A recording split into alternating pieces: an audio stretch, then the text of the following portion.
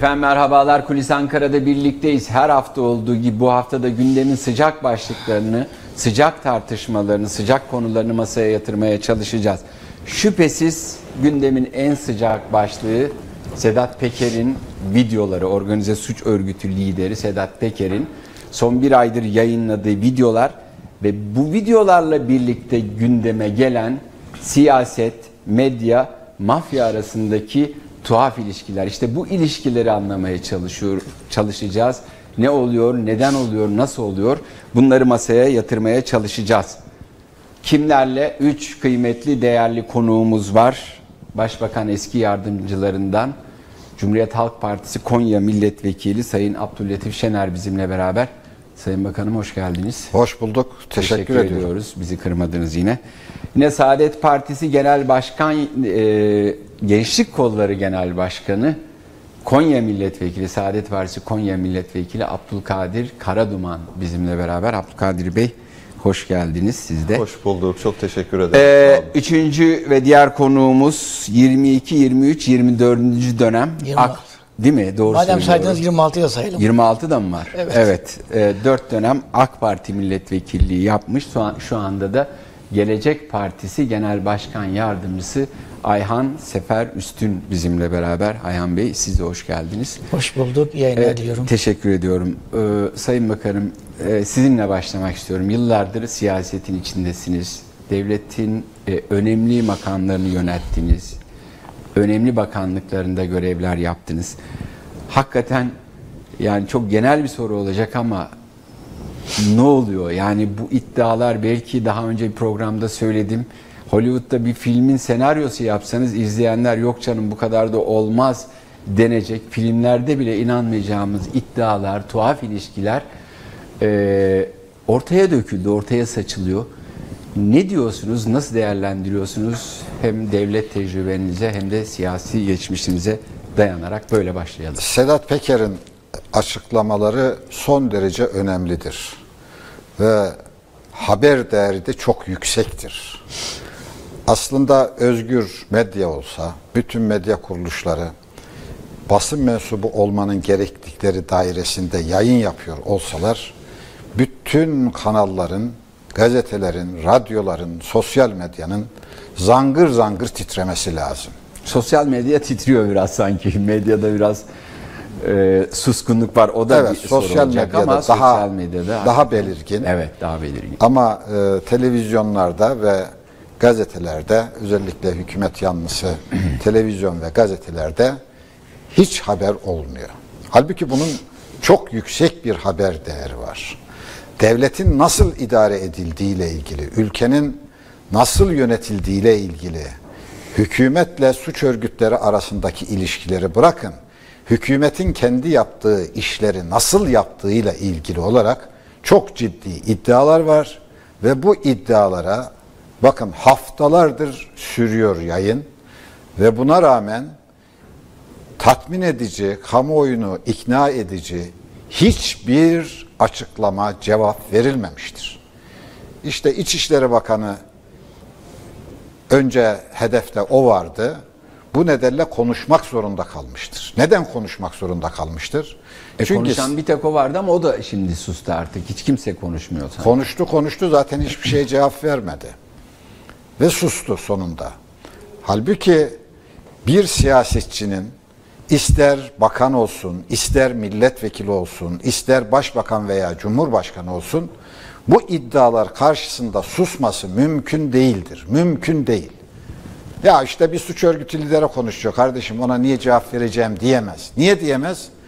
Çünkü bu suç örgütü lideri dediğiniz kişinin yapmış olduğu konuşmalar, doldurmuş olduğu videolar, Cumhurbaşkanının reytinginden de fazla, İçişleri Bakanı'nın reytinginden de fazla. Yani 10 milyonlarca izlenen videolar yapıyor. Herhalde 40 milyona çıkmıştır şu anda. Ne 40 mı? Bir ara 100 milyonu geçti e, diyebiliyorum. Bir ara dünyada o şey trend topiye Öyle mi? çıktı. Ben çok Tabii. gerilerde kalmışım. Yani, yani 100 Brezilya dizileri milyona vardı bir ara. Ona döndü yani millet. Türkiye'nin mevcut nüfusundan daha fazla izlenmiş Tabii. videolardan bahsediyorum.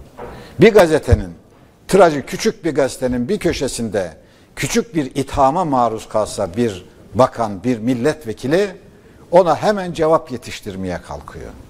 E peki 10 milyonlarca izlenmiş ve bu reyting Cumhurbaşkanının reytinginden kat kat fazla cevap veriyorum diye ekrana çıkan İçişleri Bakanlığı'nın reyting- reytinginden kat kat fazla olduğu halde somut, düzgün bir şekilde cevap verilmiyor. laf kalabalığıyla geçiştiriliyor. İçişleri Bakanı ne cevap verdi diye ben bir inceleme yaptım. Baştan sona konuşmasının dökümünü okudum. izledim. Hiçbir ciddi cevap yok. Laf kalabalığı sadece. E cevap sadedinde mesela somut söylediği şey şunu gördüm. İşte diyor korumasını ben tahsis etmemiştim. Benden önceki bakan tahsis etmişti diyor. Burada aslında kendi içinde olduğu hükümeti de töhmet altında bırakan, Bir de 10 bin, suçlayan 10 bin dolar meselesi bir de var. ifade Somut var. Bir şey yani kendi iktidarına yönelik suçlamalar İçişleri Bakanı'nın cevapları içerisinde Sedat Peker'e verdiği cevaplardan daha ağırlıklı. Verdiği cevap ne işte ben tahsis etmedim diyor. E, bu da doğru değil üstelik. Neden doğru değil? Ya bu koruma kararı her yıl alınır, her yıl. İlk koruma kararını sen almamış olabilirsin. Sen bakanlık döneminde olmamış olabilir. Ama daha sonraki koruma kararları senin döneminde. Yurt dışına gidiyor korumasıyla 7 ay geçiriyor. Bunlar da senin dönemine ait. E şimdi bu benim döneminde değildi diyemezsin ki.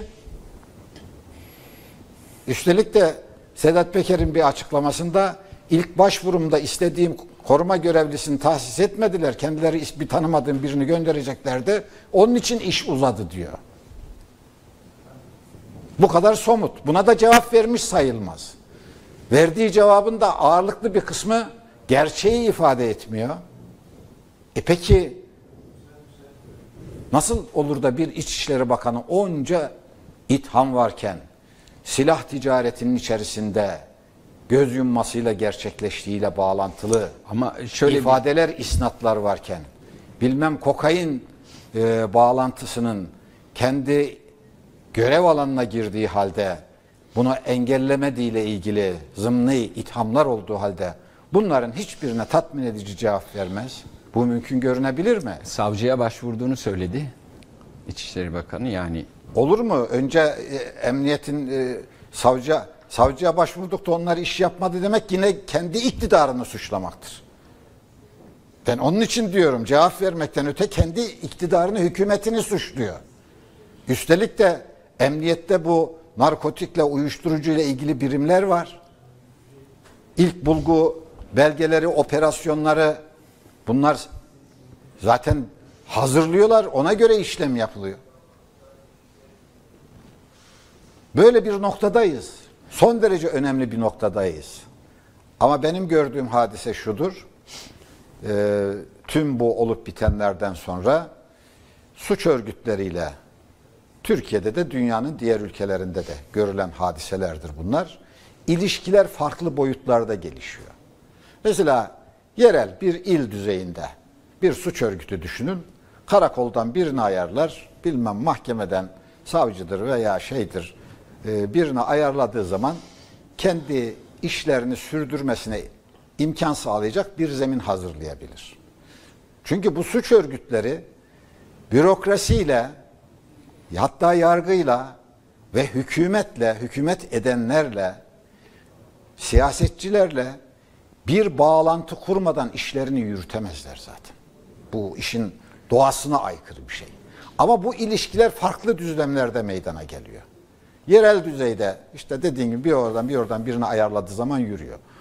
Ulusal düzeyde hatta uluslararası düzeyde bir suç örgütü varsa bunun faaliyetlerinin sürdürülebilmesi için hükümetle bağlantılı bazı kişilerle işleri işbirliği halinde yürütüyor olması lazım. Ama yakalanma risklerini azaltmak için siyasette, bürokraside, medyada partnerler ya bu Türkiye'de de dünyanın her tarafında da Oluşturuyorlar. bu işleri yaptıkları yıllar boyunca bu böyle herhangi oluyor. bir takibe uğramıyorlar. ve sonra aralarında bölüşüm paylaşım çatışmaları veya nüfuz çatışmaları ortaya çıktığında bir bakıyorsunuz ki özellikle güvenlik güçlerinden başlamak suretiyle bir takım operasyonlar yapılıyor. Çoğu ülkelerde de ana konuya dokunmadan bir takım suçlular bulunmak suretiyle olay bastırılıyor. Bak operasyon yaptık deniyor. Ama burada önemli olan hadise şu. Bu ilişkiler belli bir düzeye ulaştığında hükümet yetkilileri organize suç örgütlerinin bir parçası haline dönüştüğü anda o ülkede o devlete mafya devleti deniliyor. Mesela 1970'ler ve 80'lerdeki İtalya bir mafya devletidir. İşte bir ara belli dönemler Kolombiya'da, Meksika'da, Balkanlardaki bazı ülkelerde mafya devletleri var. Ama Batı'da yazılmış, Türkçe'ye tercüme edilenini veya Türkiye'de Türkçe olarak yazılanını e, görmedim. Bazı dolaylı makaleleri saymazsanız gazetecilik niteliğinde. Yeni bir mafya devleti tipi ortaya çıkmıştır. Bu İtalya, Meksika. Kolombiya örneğinin de dışında yeni bir mafya devleti tipi ortaya çıkmıştır. Bununla ilgili çok sayıda Nedir Batı o tip? dillerinde Nasıl bir tip yani? kitaplar var, makaleler var. Yani bunlardan bir kitabı ben e, okudum. Orada şu var. Devletin mafyalaşması var.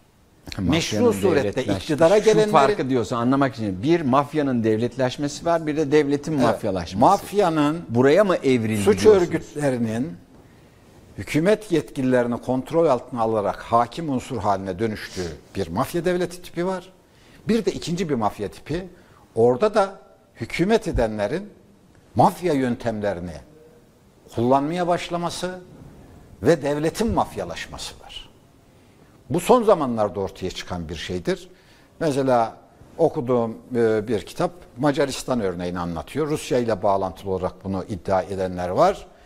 Ve bunun temel özellikleri sıralanıyor. Nedir temel özellikleri? Bir, o ülkede yolsuzluklar klasik yolsuzluk sınırlarını aşıyor. Devasa boyutlara ulaşıyor. Yani artık rüşvetler, yolsuzluklar bir çantayla hatta bir bavulla taşınır olmaktan çıkıyor banka hesaplarında tutulamayacak kadar borsada veya gayrimenkulde dolaştırılamayacak kadar devasa boyutlara ulaşıyor. İkincisi bir medya imparatorluğu kuruluyor. Bu yapıyı ortaya çıkarmayı engellemek için ortaya çıkan medya imparatorluğu bu tür haberlerin üzerine sus perdesi yerleştiriyor. Akşam ben haber kanallarının yüzde Onun için- doksanı ha- hazırlık da yapayım diye hakikaten takip ettim. Hiç bu olayların hiçbirisi yoktu gündemde. Ya tür, İlginç. şey Türkiye'de yani. de anlamda bunun önemli. e, döşenmiş taşlarını görüyoruz. Bu medya imparatorluğu, yandaş medya imparatorluğu bunun ifadelerinden biridir. Veya yolsuzlukların ulaştığı devasa boyutlar. Milyar dolarlar konuşuyoruz artık. Bilmem Öyle kamunun, devletin işletme hakkına sahip olduğu konular. Havaalanı dediğiniz, yollar dediğiniz, köprüler dediğiniz, hastaneler dediğiniz iş devletin işti. Bunlar devletin işletme hakkına girer. Devlete ait işletme hakları özelleştirilmek suretiyle bir de kamusal rantların da özelleştirildiği, kamusal yükümlülüklerin de özelleştirildiği devasa milyar dolarlarla ifade edilen kazançların oluşturulduğu bir Türkiye. 128 milyar dolar 20 ayda Merkez Bankası'nda rezervler bitmiş. Bu nerede diyorsun? Bunu soramazsın diyorlar. Üçüncü bir ayağı var. Bu okuduğum batıdaki e, yazılan Yeni kitaplarda. Bu üçüncü özellik de şudur. Bu üçüncü özellik çok önemli. Bu hükümet etme tarzına karşı muhalefet eden partileri, siyasetçileri, gazetecileri, aydınları susturma operasyonları var. Hem bir taraftan yargısal olarak hem de bir taraftan zaman zaman da zor kullanmak suretiyle susturma. E Türkiye'de bakıyorsun yayın yasağı getirilen kara, mahkeme kararlarına bakıyorsun. Ya yüzlerce karar var ma- e, yargının e, yayın yasağı getirdi. Çok masum şeylere. Bir bakan bir yerden mesela Kanal İstanbul'un oradan bir arsa almış. Biliyorsun Türkiye'de oldu. Hemen mahkeme yayın yasağı koyuyor. Bu haber bunu haberi yapamazsın diye. Ya bu orada arsa almış mı? Var mı arsası var? Niye yayın yasağı getiriyorsun? Ve gazeteler, televizyonlar işte yayın yasağı getirildi bu habere diye yayın yapmaya başlayınca mahkeme ikinci bir karar alıyor. Yayın yasağı getirdi demeyi de yasaklıyor. Bu da üçüncü özellik. Dördüncü bir şey var. Bu devasa boyutlara çıktığı için yolsuzluklar ve gayrimeşru hükümet edenlerin özel kazançları bu sefer bunları taşıyamaz hale geldiği için hesaplarda tutulamıyor artık. Dünyada çeviremiyorsun. Engeller var. Riskler var. Bunu yasallaştırma çabası, meşrulaştırma çabası. Hani mafya filmleri Ya izle- para aklamadan Evet, bahsediyor. para aklamadan. Bunu mafya filmlerinde görürsünüz. İşte bir suç örgütü kanun dışı çok büyük paralar kazanır ama sınırı vardır onun. Bunu meşrulaştırmak İşte için bir bakarsın bir kazandığını restoran- otelde, bir restoranda restoran açar, bir otel açar, bir hatta bilemedim o ülkede serbestle bir kumarhane içer, bir eğlence merkezi açar, onun üzerinden aklamaya çalışır. Ticari faaliyetlerimin bir parçasıdır bu paralar demek için. Ama Ama ilginç Sayın Bakanım bir bilgi ama bu vereyim. bu Evet. ikinci tip mafya devletinde ise bu sefer ortaya farklı bir şey çıkıyor. Yasama organı kullanılır. Türkiye'de varlık barışı adı altında 6 tane hatta bir rivayete göre 7 tane yasa çıkmıştır. Bu varlık barışı ne demek? Türkiye'nin içinde dışında ne kadar paran varsa bankaya yatırıyorsun. Üzerinden 1 lira vergi almıyor ve diyor ki bu para artık bu yasa gereği bankaya yatırılan bu paralar hukuken meşru bir paradır. Ona meşruluk damgasını vuruyor. Ondan sonra Türkiye'nin içinde dışında her tarafında çevir. Bir dakika. Onu da diğer konuklarıma da geçeceğim ama şunu teyit etmek için varlık barışının Türkiye'de para aklamak için mi getirildiğini sık sık çıkarıldığını söylüyorsunuz. Bu, Bak bu- gayrimeşru ilişkilerden ortaya çıkan. Çünkü hakikaten son dönemde konuştuğumuz şeyler hep çok ciddi rakamlar. Bu varlık barışı işi bir kere parayı aklıyor. Vergisi ödenmemiş. Hatta kara para niteliğindeki parayı aklıyor. Bu Sonucu bu. Bu. E sonucu bu olduğu zaman e, kimin parasını aklıyor? Veya altı kere nasıl çıkarıyorsun bunu? Kara para yani kanun dışı para miktarı o kadar artıyor ki Varlık barış çıkarmak ikide zorunda bir bunu çıkarma zorunda kalıyorsun. Bakın e, Mali Suçları Araştırma Kurulu var Maliye Bakanlığı'na bağlı olarak. Mali Suçları Araştırma Kurulu Maliye Bakanlığı bünye- bünyesinde 54. Refah Yol hükümeti döneminde, Erbakan hükümeti döneminde, Erbakan hocamızın başbakan olduğu dönemde yasası meclisten çıkarılmıştır ve Maliye Bakanı olarak da o kurulu ben ilk kez ben kurdum. İlk kuruluşunu ben yaptım. Başkanını, başkan yardımcılarını, bürokratlarını, personelini ilk personel ve başkanından bahsediyorum. Hepsini ben atadım. Ama açıktan kimseyi almadık. Türkiye'de o dönemde çok iyi yetişmiş teftiş ve denetim kurulları vardı. Oralardan topladığımız e, ve görevlendirildi, görevlendirdiğimiz nitelikli elemanlarla bu kuru ilk kez biz kurduk. Bunun görevi işte bu kara para incelemesi yapmaktır. Ama açıkça söylüyorum, varlık barışı nedeniyle parasını bankaya yatırıp legalleştiren hiç kimseyi incelememişlerdir. Çünkü hükümetin kontrolünde bir yer. İnceledilerse söylesinler. Şunu şunu varlık barışından başvuran, şu varlık barışından şu tarihli başvuru. Ama o taahhüdü veriyorlar zaten yani incelemeyeceğiz diye. Hayır bazen mecliste biz bunları tartıştık. Bunu burada niye rahat konuşuyorum? Ben bu tür mafya devleti ve söylediğim mekanizmalarla bağlantılı olarak mecliste dört kez konuşma yaptım. İkisi genel kurulda, ikisi de plan ve bütçe komisyonunda. Bu söylediklerimi aynen mecliste de söyledim. E diyorlar ki işte bu, bu kanun çıkarken, e bu kanunda bu kara, e, kara kısmı suç unsuru olan işte ne bileyim e, uyuşturucu Uyuşturucu. kaçakçılığı vesaire gibi kaynaklardan kaynaklanan paraları kapsamıyor. Nasıl kapsamıyor? Eğer inceleme varsa MASAK'ın yaptığı bu, bu baş, e, varlık barışından dolayı başvuranlar üzerinde tek bir kişi üzerinde inceleme varsa gene söyleyin. Evet. Söyledikleri yok. Anladım. Yani şimdi dolayısıyla Sedat Peker'in açıklamaları çok önemli ama iş o boyutları aşmış vaziyette.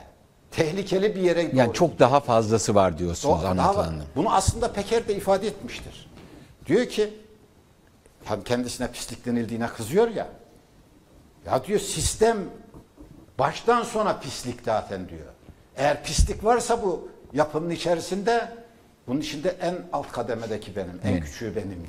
Döneceğiz o pisliğin sistemle ilgili bağlantılarını ama Küçük, e, ucu, not küçük ucu demek istiyor. Evet. Asıl devlettekilerin yaptığı benimkinden daha vahim demek istiyor.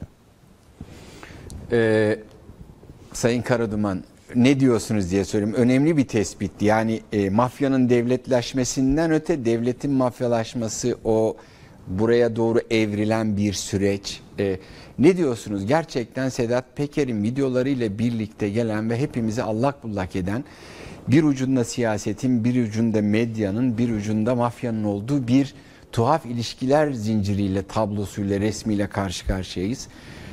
E, Dediğimiz gibi yani yaygın medya görmese de iktidar susarak geçiştirmeye çalışsa da çok ciddi iddialar yenilir yutulur cinsten değil.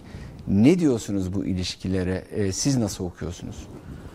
Evet tabii aslında bu tartışmaların içeriğini oluşturan meselelere baktığımız zaman bugün Türkiye'nin 21. yüzyılda bu tartışmalar içerisinde olması ya ülkemiz adına hakikaten çok büyük bir utançtır. Ülkemiz adına çok büyük bir kayıptır. E, çünkü bu ülkede e, yaşayan 83 milyon insan e, umutla yaşamaya çalışırken, her geçen gün umutsuzluğa sevk edilirken bu hadiselerle birlikte insanların çözüm bekleyen sorunları da aslında daha büyük çözümsüzlüklere e, sebebiyet doğuruyor ve ülkede yaşayan insanlar ülkeden umudunu aslında yani bir Kaybediyor. bakıma da Gençlik Kolları Başkanıyım. Yani gençlik çalışmalarımızda da gördüğümüz hadise aslında bu süreçleri gençler daha çok takip etmesine rağmen bu hadiselerden dolayı ülkeye dair umutlarını ve ümitlerini kaybediyor olmaları bakımından son derece talihsiz bir döneme e, girdiğimiz kanaatindeyim. Yani bugün e, aslında bu mesela şöyle bir şey vardır. Yani bana da bu e, çokça söylendi ya da benim yaş dilimimde olan gençlere siz 90'lı yıllarda işte şunlar şunlar yaşamıştı ama bunları bilmezsiniz gibi. E, bugün hükümet aslında birçok şeyi yaşattı, birçok şeyi gösterdi. Sağ olsun bugün yeni Türkiye iddialarıyla birlikte 90'lı yıllarda yaşanılan hadiselerin e, tecrübesini bir kez daha bugün o dönemi görmeyenlere de şu anda belki fragman niteliğinde de olmuş olsa bunları göstermesi bakımından hakikaten insanlar umudunu ve ümidini yitiriyor. Bu ülke açısından çok o yüzden ciddi- mi sık sık dile getiriliyor son dönemde 90'lara vurgu yapıyor. Türkiye 90'lara Tabii. dönüyor. Yani aslında yeni Türkiye, daha yeni Türkiye yani. iddialarıyla yani kapandı denilen dönemlerin aslında bir bakıma iktidara geldiği bir dönemi yaşamak gibi bir sonuçla da karşı karşıya kaldığımızı bu olaylarla birlikte görüyoruz. Bu birincisi. Bir diğer ikincisi şimdi e, yani bir yerde ya hukuk vardır ya hukuksuzluk vardır. Yani hukukun olmadığı bir yerde siz illegal yapıların olmadığını iddia edemezsiniz. İçişleri Bakanı bu ülkede anayasaya rağmen ben yetkilerimi kullanacağım diyorsa, İçişleri Bakanı bir ülkede siyasi partinin genel başkanı, genel başkanımızla ilgili Kandil'le sözleşme yapmıştır, bu sözleşme benim elimdedir demek gibi yani bir seçimde seçim kazanmak adına türlü yalanları söylüyor ve hukuksuzluğa imza atıyorsa hukuksuzluğun olduğu bir yerde illegal yapılarla işbirliğinin olabilmesi elbette ki şey değildir. E, mucize Değil. olmamalıdır. Nihayetinde Şaşırtıcı bir yerde ya olmamalı, hukuk evet. vardır ya hukuksuzluk vardır. Zaten devletle insanların ilişkilerini belirleyen asıl şey hukuktur. Ve yönetenlerle yönetilenleri eşitleyebileceğimiz tek bir zemin varsa o da hukukun kendisidir. Eğer yöneten insanlar yani içerisinde bulundukları imkanları ve içerisinde bulundukları güçleri hukukla sınırlamıyorlarsa o zaman bu güç aynı zamanda insanları eee, çete olmaya ya da insanları bu güç Gayrimeşru e, işler. ülkeyi yönetenleri mafyöz bir e, tavır ve tutuma sevk edecektir. Dolayısıyla aslında içerisinde bulunduğumuz durumda iktidarın gücünü bugün hükümet edenlerin yetkilerini hukuk sınırlandırmadığı için dolayısıyla bu iddiaların yalan olduğunu 83 milyon gönül rahatlığıyla ne yapamıyoruz? Söyle. Söyleyemiyoruz. Şimdi dolayısıyla mesela bir hırsız e, bir ev soyacak ya da e, bir yeri soyacak. Hangi zaman dilimini e, bu soygunu yapmak için değerlendirebilir? Hiç şüphesiz gece e, bu anlamda hırsızlık yapanlar açısından e, şahit olduğumuz hadiseler ki e, daha elverişlidir. Niçin? Çünkü gece aslında suçu örtbas etmeye de imkan tanıyabilir. Yani aydınlığın olmadığı ve şeffaf olmayan yerler karanlık ilişkilerin hakim olacağı ortamları gösterir. Aslında bunun iz düşümü devlet yönetiminde nedir? Eğer bir devleti yönetenler şeffaf değilse, şeffaflığı ortadan kaldırmışsa orada mutlaka kirli ilişkiler vardır. Orada mutlaka karanlık ellerle hükümet edenlerin ilişkisi söz konusudur. Yani bugün bir hukuk yok. İki şeffaflığın olmadığı bir ortamda elbette ki bu iddiaların gündeme gelmesi aslında geç kalınmış hususlar olarak da görebiliriz. Bu ikincisi. Bir diğer üçüncüsü ben bugün e, tartıştığımız bu meseleleri ve tartıştığımız bu meselelerin içeriğine baktığımızda ülkede yaşayan hiçbir insan bugün bu meseleleri emin olun hak etmiyor. Ülkede yaşayan bütün insanlardan bahsettiğimiz gibi altını çizerek söylüyorum ki Adalet ve Kalkınma Partisi'ne oy veren insanlarımız da AK Parti'nin e, bu halde olmasını emin olun ki hak etmiyor. Çünkü insanlar bugün sorun içerisinde ve yaşadığı bu sorunlara hükümetin çözüm bulmasını beklerken bugün ekonomide, hukukta, dış politikada, eğitimde, tarımda ve hayvancılıkta her alanda insanlar hükümetin çözüm üretmesini, politika üretmesini beklerken hükümetin bu kirli ilişkiler içerisinde olması emin olun AK Parti'ye oy veren insanların da hak ettiği bir manzara Değil. kesinlikle değildir. Ve özellikle bu meselelerin işte iddialar var ve bu iddialar çerçevesinde hükümet yetkililerin söylediği bir takım şeyler var. Ve burada çok ilginçtir aslında AK Parti Grup Başkan Vekili Sayın Bülent Turan'ın yani söylediği bir şey var. Aslında o yaşadığımız bütün bu süreçlerin özeti mesabesindedir. İki gün önce Grup Başkan Vekili Sayın Bülent Turan çıktı dedi ki eğer böyle iddialar varsa ve bunlar gerçekse o zaman biz AK Parti yönetimi olarak bir araya geliriz. Burada suçu ortaya koyar ve partide bu temizliği gerçekleştiririz. Yani bu aslında şu anda hükümetin hangi noktada olduğunu görmemiz açısından bence son derece önemli bir vesika. Niçin? E Yani ortada bir sorun varsa bu sorunun çözümü, çözümü ancak hukuk mekanizmasıyla mümkün olacaktır. Yani siz AK Parti'nin genel merkezinde hakimlerinizi belirlediniz. AK Parti'nin genel merkezinde savcılarınızı belirlediniz. Dolayısıyla dediniz ki biz suça bulaşanları partiden ayıklarız ve bu meseleyi çözeriz dediğiniz zaman adaleti sağlamış olur musunuz? Ya bu aslında başlı başına hükümetin nasıl bir garabetin içerisinde olduğunu görmek açısından kanaatimce başlı başına yeter ve bu iddiaların bile ne kadar önemli olduğunu eee, ve iktidar üzerinde ne kadar etkili olduğunu görmemiz açısından malumun ilanı mesabesindedir. Şimdi bugün genel kurulda e, muhalefetin verdiği bir araştırma komisyonu Adalet ve Kalkınma Partisi ve MHP milletvekillerinin red oylarıyla araştırma komisyonu kurulması engellendi. Şimdi şunu açıkça söylüyoruz. Eğer abdestinizden şüpheniz varsa o zaman namazınızdan da sizin şüpheniz olur. Eğer hiçbir probleminiz yoksa, söylenen iddiaların kesin kes yalan olduğunu düşünüyorsanız, bu iddiaların kesinlikle doğru olmadığına inanıyorsanız, o zaman bunun tek bir çözümü vardır. Hukuka gidersiniz.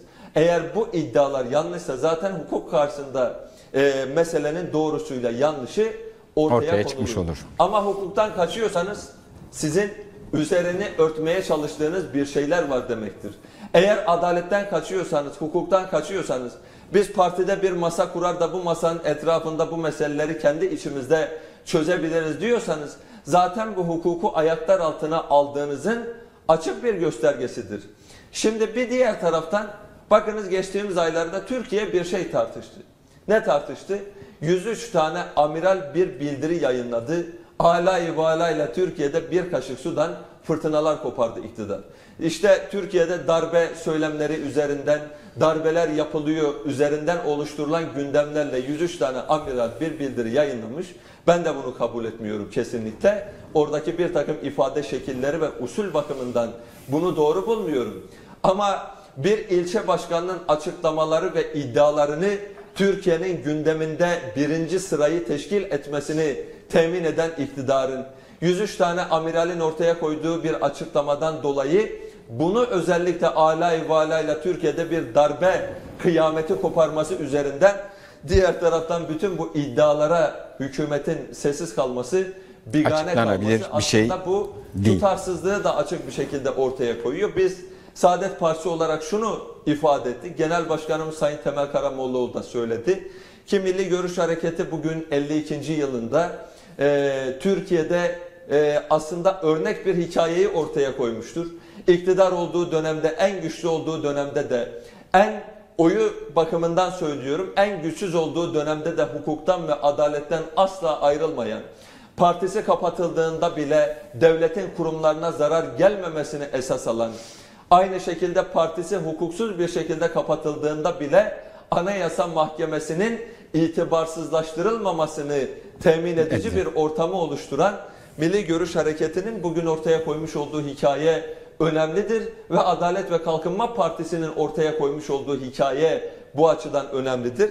Bu vesileyle Genel Başkanımız mutlaka bir soruşturma komisyonunun kurulması, savcıların meselenin üzerine mutlaka gitmesi gerektiğini ve İçişleri Bakanı'nın İçişleri Bakanlığı'nı da töhmet altında bırakmaması açısından ve devletin kurumlarının bu süreçte yıpratılmaması açısından, Açısından. mutlaka istifa etmesi gerektiğinin de Ayhan Bey'e geçeceğim ama bir cümle size Temel Bey'e vurgu yaptınız. Sayın Bakanım da koruma meselesini gündeme getirdi. Bu tartışmanın ilk sıcak başlıklarından birisiydi e, Sayın İçişleri Bakanı ile ilgili ama şöyle bir garip şey var. E, mesela Sedat Peker'e koruma verildiği tarihlere tahmin ediyorum tekabül eden bir dönemde e, Saadet Partisi Genel Başkanı'nın korumaları çekilmişti tümüyle. Böyle garip şeyler de yaşadı ülke. Belki o birkaç cümle Tabii yani Ee, aslında e, biliyorsunuz o dönem e, yani 24 Haziran seçim satımıyla Türkiye'de e, bir savaş ortamında geçen bir seçim süreciydi.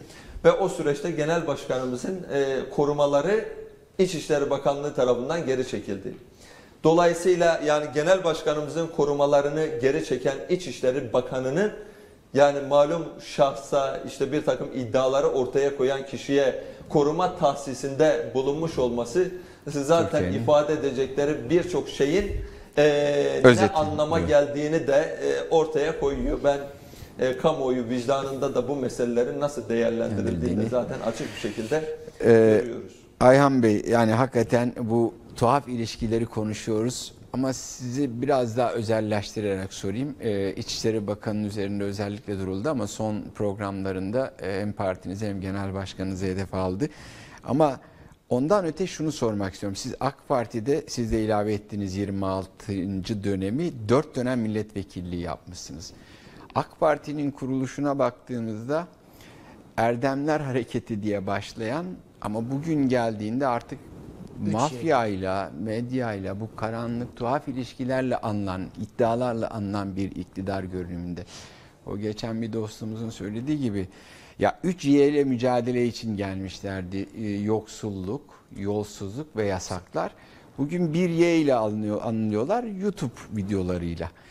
Siz bu kadar uzun süre görev yaptığınız, e, içinde bulunduğunuz bir siyasal hareket olarak, şimdi Gelecek Partisi Genel Başkan Yardımcısınız ama bu dönüşümü, bu değişimi anlayabiliyor musunuz veya nasıl okuyorsunuz? Ne diyeceksiniz? O zaman biraz Diğer konuklarıma da biraz baştan şey isterseniz. Tabii. Aslında e, buradaki siyasetçilerin tamamı gibi biz de e, Refah Partisi'nden e, siyasete başladık Refah Partisi'nde. Sayın Erbakan Hoca'nın rahliye tedrisatından geçerek siyasete atıldık. Bize şunu yap, e, salık verirdi. Bu memlekette millete hizmet edeceksiniz. Bunun birinci şartı siyasete girmek derdi. Ve biz de bu e, hedefle siyasete girdik. Refah Partisi'nde bulundum. Fazilet Partisi'nde bulundum. Ancak o günkü vesayet rejimi e, vesayet unsurları bizi orada e, siyaseten daha fazla hizmet yapmamıza engel oldukları için e, yeni bir açılım yapalım dedik. İşte Abdülhatif Bey de e, kurucularımızdandı ve AK Parti'yi kurduk. Hakikaten AK Parti'yi son derece halisane duygularla kurduk. Çünkü Sayın Erbakan şunu diyordu. Çocuklar biz cenneti dünyada insanlara yaşatacağız.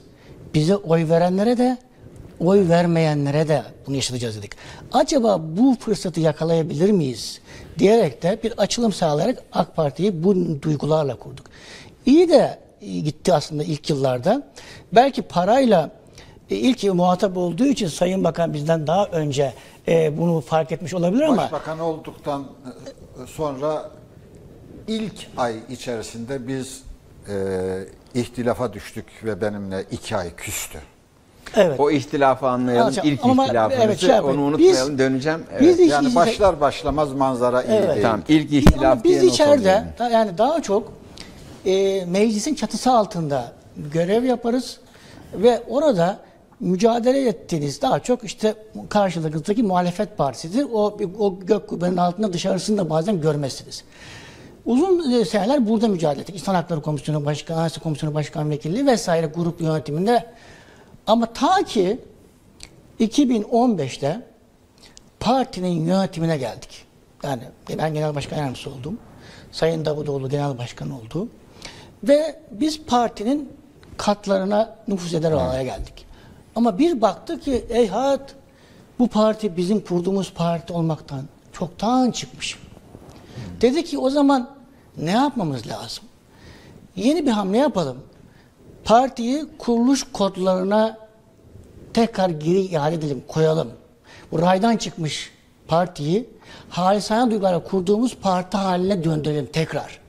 Sayın Süleyman Soylu diyor ya hani partinin aslında e, kuruluş kodlarını oynuyor diyordu. Biz o partiyi kurarken o dışarıda Erdoğan'a, bizlere hakaret ediyordu. Şimdi biz o e, raydan çıkmış parti raya oturmak için bir e, çalışma başlattık ve adına da bakın hatırlarsınız o günler girin gene medyaya restorasyon dönemi dedik. Yani biz AK Parti'de restorasyon dönemini başlatıyoruz dedik. İlk tepki zaten bu tanımlamaya geldi. Ya nereden çıktı şimdi bu tanımlama? Nereden çıktı bu şimdi e, bu restorasyon? Eskiyen bir şey mi var? Kim eskidi? Parti mi eskidi? Fikirler mi eskidi? Diyerek ilk itirazla oradan karşılaştık. Aslında evet her şey eskiyebilir.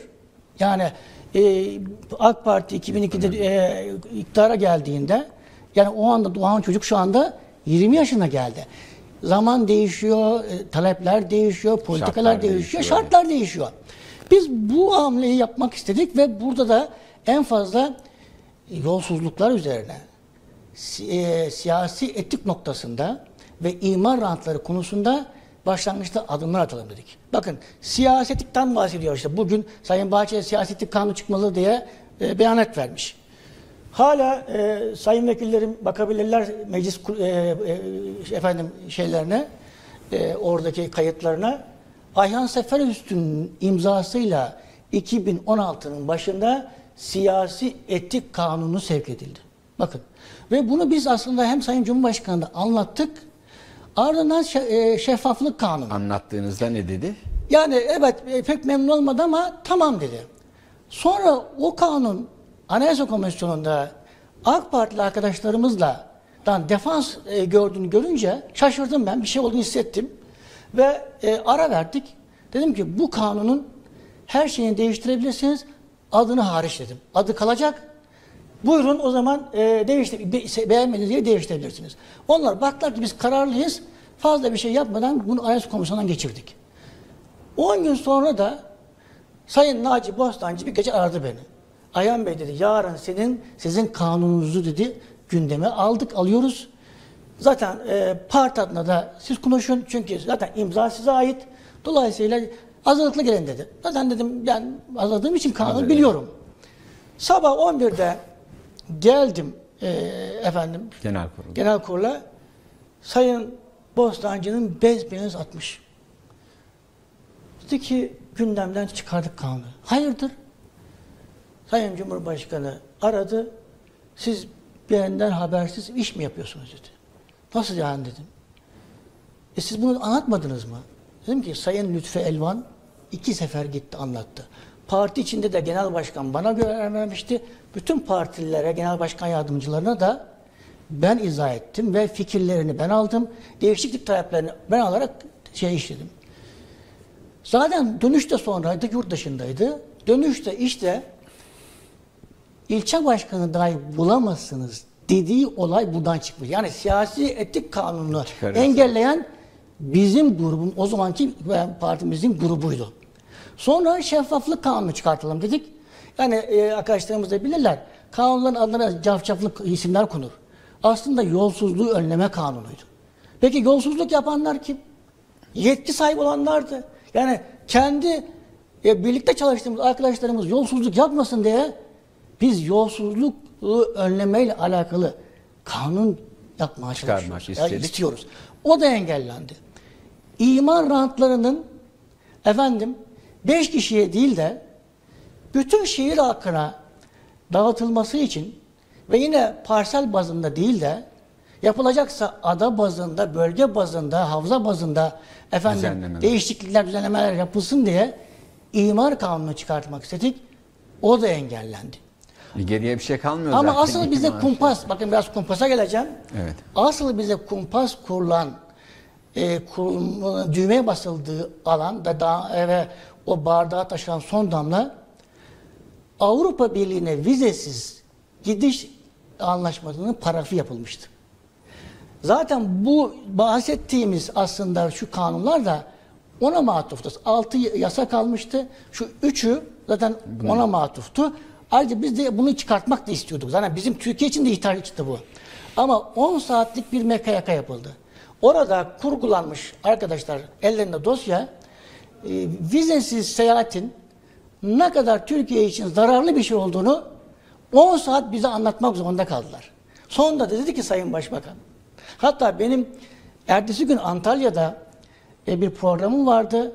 Uçağım da 11'deydi. Müsaade istedim Genel Başkan'dan dedik Ayhan Bey gitme çünkü anlaşılan burada bir kumpas var dedim. Sonra artık dayanamadı. Ya dedi sizler kırmızı pasaportunuzla VIP'lerden geçiyorsunuz. İstediğiniz ülkeye gidiyorsunuz. Benim öğrencim, iş adamım aylarca Alman konsolosunun önünde bekliyor. Ya bunun neresi yanlış dedi. Nasıl böyle konuşuyorsunuz dedim. Deyince artık saat 12 gibi yani 2'de başlamıştık.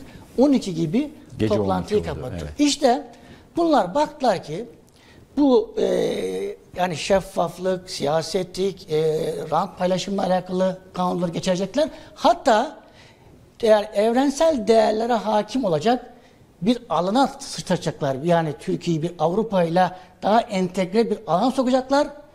O zaman artık bunlara bir operasyon, bir kumpas kuralım dedi. İşte Süleyman Soylu bu kadar önemli konuları izah edeceğine bu olay nasıl bu e, efendim yolsuzlukları önlemek için adım attan hükümetine, başbakanına, genel başkanına nasıl kumpas kurduğunu söyledi. Evet AK Parti ilk yıllarda 55 tane çete çökertmişti. Ama o zaman AK Parti'nin içerisinde Süleyman Soylular yoktu. Evet 2008'de hatırlayın yine bir genel başkan yardımcısı AK Parti'de Silivri'de bir tarlanı, tarlayı arsaya çevirmek için ön protokol imzalamış. Aylarca o zaman özgür medya vardı. Aylarca bunu işledi. Yaklaşık 17-18 gün. Tabii gene bir sessizlik var aynı bugünkü gibi. Ama 18. günü bakın Sayın Bülent Arınç isim de veriyorum. Sayın Nihat Ergün ya yeter artık.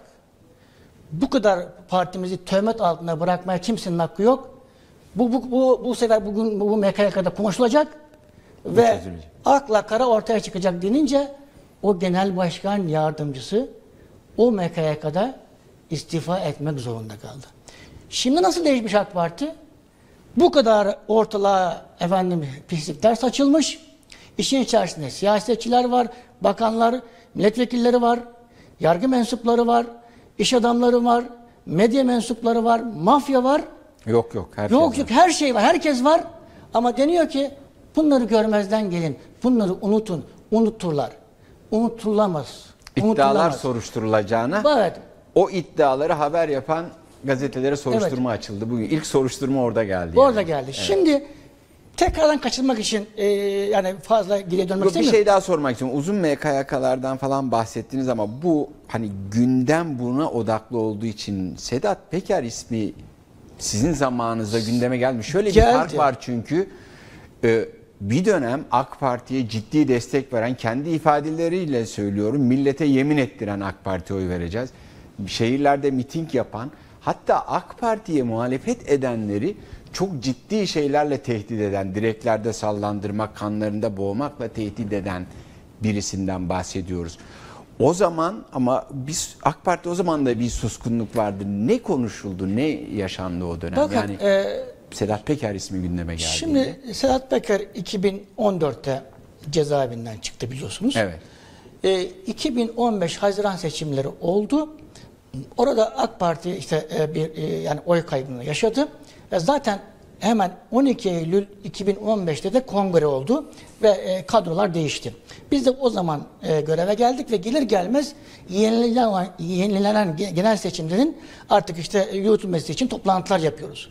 O toplantıların birinde e, Sedat Peker'in ve yine bir e, işte böyle sağ aşırı sağ uygulamalarıyla tanınan bir derneğin e, Kim Osmanlı Ocakları mı? yani başka? şimdi isim vermeyelim Tamam. burada bir derneğin AK Parti lehine efendim çalışmalarda bulunacağını, mitingler yapacağını e, bu konuda e, ne dersiniz şeklinde bir e, gündem oluşturuldu. E, aslında yani e, MYK Merkez Yürütme Kurulu en dar organdır ve gerçekten e, orada konuşulan çok dışarıya sızmaz. Yani yani MYK ne kadar önemliyse AK Parti için MYK da kadar önemlidir. önemli. Oraya da eğer bir kişi bir önerge getirmişse buna inanarak getirir. Yani iş olsun, laf olsun, torbada olsun diye getirmez. O bakımdan o, o kişi getirenler de zaten yani bunu az kabul etsek mi manasında getirmişlerdir. Tabii hem bizler hem de Sayın Genel Başkan kesinlikle böyle bir şeyin olamayacağını, oradan gel- gelen faydanın gelme, gelmez olsun diye e, e, söyledi ve hemen genelge yazın dedi. Hiçbir AK Partili böylesi oluşumların yanında, önünde, arkasında olmayacak. Herhangi bir miting yapılmasına da resmi olarak izin verilmeyecek dedi. Nitekim o e, yani kampanya sürecinde O genelge e, yazıldı mı? Yazıldı. Yazıldı. O genelge yazıldı. Yani yazıldı. E, Yani kimdi genel başkan? Efendim Genel Sayın Ahmet Davutoğlu. Tamam onu ayırt edelim diye. Tabii, ama Tabii, onu tabii, tabii Ahmet Davutoğlu zaten Ya- yanlış anlaşılabilir. yanlış anlaşılabilir belki geçmiş siyasi Evet, e, tarih tabii. bilmeyenler, e, yakın tarih bilmeyenler e, unutabilirler. Sayın Ahmet Yani bu Davutoğlu'nun mitinglere destek verilmemesi, bir şekilde önünde arkasında yanında Evet. görünülmemesi. kesin bir genelge e, yayınlandı. Ama ne zaman ki işte e, Mayıs ayında bir kumpasla Sayın Davutoğlu ve bizler yani Parti'nin e, yönetiminden uzaklaştırıldık. Ardından gelen iki- hemen 2017 referandumunda 2018 efendim genel seçimlerinde e, Sedat Peker değişik illerde sadece bir yerde değil, Değil. İstanbul'da, Sakarya'da, Samsun'da, Rize'de. Trabzon'da, Rize'de vesaire e, mitingler yaptı. Üstelik bir tarafında kendi posteri, bir tarafında da Sayın Cumhurbaşkanı'nın posteriydi. Şimdi bunu zaten e, Sayın Peker de, yani düzelteyim burada e, ağzıma alışmış, Peker de e, söylüyor. Öyle. söylüyor. E, şimdi diyor ki, e, ben İs- ismi, de, ismi de S ile başlayınca ister evet. istemez İstersen dil oraya kayıyor. kayıyor. Ee, şimdi Evet. şunu ifade edeyim. Aslında siz beni siyasallaştırdınız diyor. Siz bana miting yaptırmadınız mı diyor. Yani ben ben nasıl diyor 30 bin kişi toplayabilirim diyor. Sizin desteğinizle bunları topladım diyor. Tırnak içerisinde ben artık suçluysam diyor bir siyasi suçluyum diyor. Beni diyor Türkiye'ye diyor getiremezsiniz, iade edemezsiniz diyor. Yani uluslararası Aynen. hukuku da bu çerçevede e, Tabii söylüyor. Türkiye'de mitingler yapmış Evet. bir siyasi kimliği mi? Şimdi Geldi bu, mesele. bu düzeni biz evet 2015'ten itibaren fark ettik. Ee, ve sonraki aşamalarda da yani e, Gelecek Partisi'ni kurduğumuzda da e, temiz siyaset belgesi diye e, bir e, belge yayınladık. 2000 e, şey Şubat ayında hemen Şubat bu, ayında. bu yılda. Bu Yani yıl, evet, evet. bütün bunları nasıl e, efendim ortaya çıktığını, nasıl engellenebileceğine dair ve bu yolsuzluk düzenine de bir ad koyduk. Otoriter, sistemik yolsuzluk düzeni. Otoriter çünkü otoriterleşmeyi özellikle e, 2016'daki 15 Temmuz darbesinden sonra insanlar özgürlük beklerken onlar otoriterleşmeye doğru gittiler. Cumhurbaşkanlığı hükümet sistemiyle taşlandırdılar. Bu mafya düzeniyle de katmerleştirdiler. Bakın otoriterleşmeyi böyle sağladılar insanlar üzerinde. Konuşmayacaksın. Konuşursan şöyle olur böyle olur noktasında. Şimdi sistematik hale getirdiler. Biraz önce Sayın Bakanımız da biraz bahsetti. Artık milyar dolarlar, 10 milyar dolarlar bahsedildi. Ve bunları gizli e, ama yasal güya sözleşmelere bağladılar.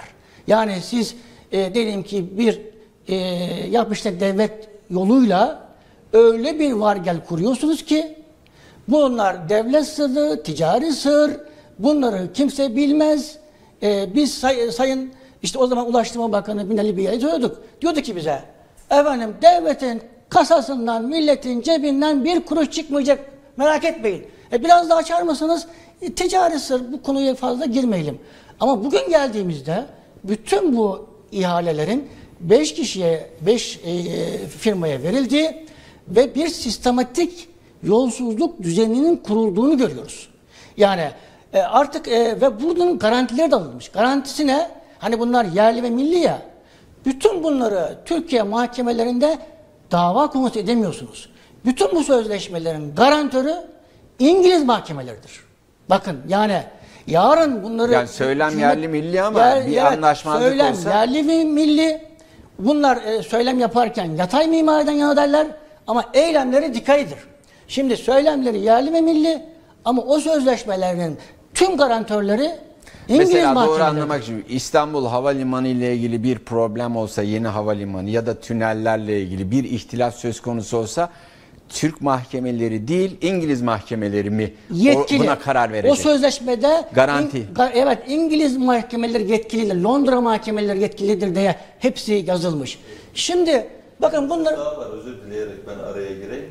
Yani orada ihaleyi veren devlet, Türkiye Cumhuriyeti Devleti, ihaleyi alan Türkiye Cumhuriyeti Beş. Devleti'nin bir firması ya da o beş firmadan bir tanesi.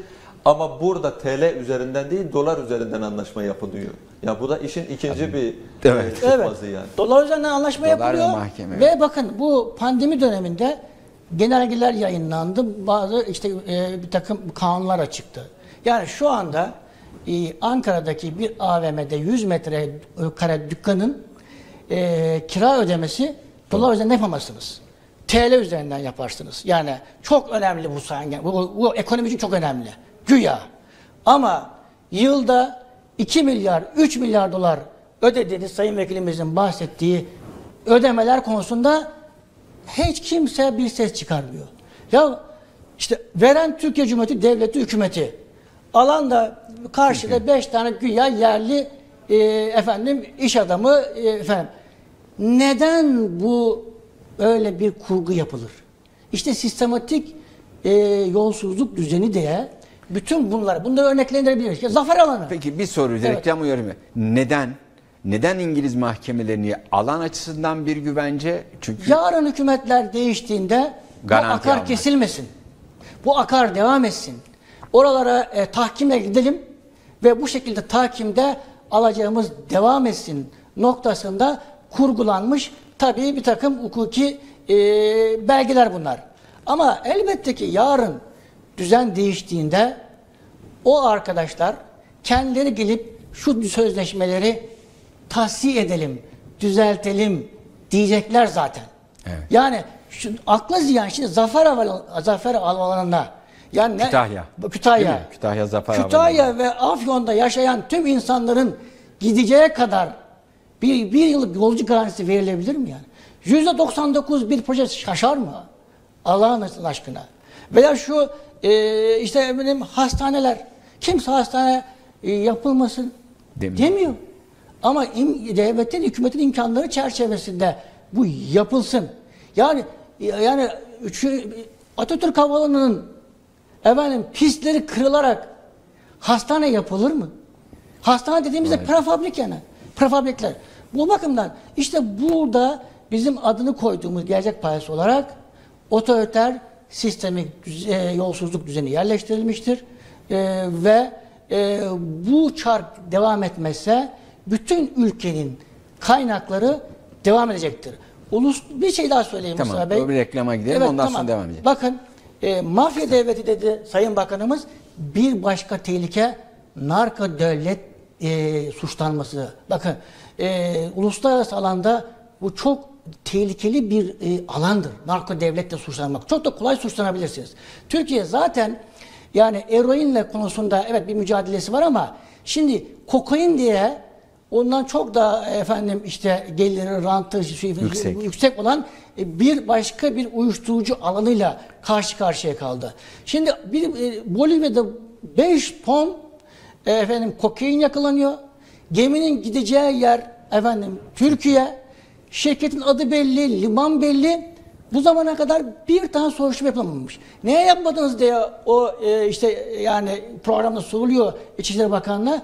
Efendim pandemi vardı, gidemedik, gelemedik ama öbür taraftan Venezuela'ya nedense e, bir ba- e, başbakanın efendim eski başbakanın avukatı su yoluna devi- çevirmiş.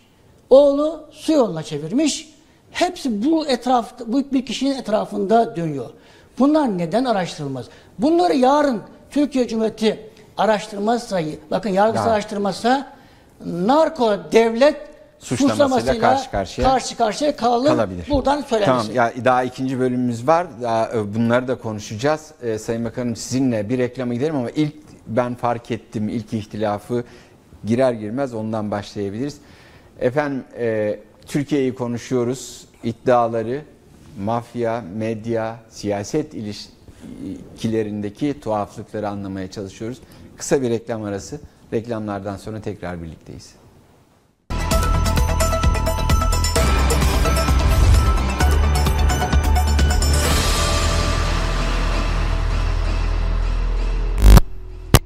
Efendim Kulis Ankara'nın ikinci bölümünde tekrar birlikteyiz. Sedat Peker'in videolarıyla birlikte gündeme gelen medya, siyaset, mafya üçgenindeki tuhaf ilişkileri, tuhaf iddiaları anlamaya çalışıyoruz, konuşuyoruz. Konuklarımı tekrar hatırlatmakta fayda görüyorum. Başbakan eski yardımcılarından Cumhuriyet Halk Partisi Konya Milletvekili Sayın Abdüllatif Şener, Saadet Partisi Gençlik Kolları Genel Başkanı Konya Milletvekili Abdülkadir Karaduman ve Gelecek Partisi Genel Başkan Yardımcısı Ayhan Sefer Üstün bizimle beraber. Sayın Bakanım, e, şuradan başlamak istiyorum. Gerçi ilk ihtilafa düştüğünüz konuyu anlatacaksınız ama e, gerçekten birinci bölümde de kısmen değindik. Sizin de başlangıcında yer aldığınız AK Parti Erdemler Hareketi diye tırnak içinde yola çıktı.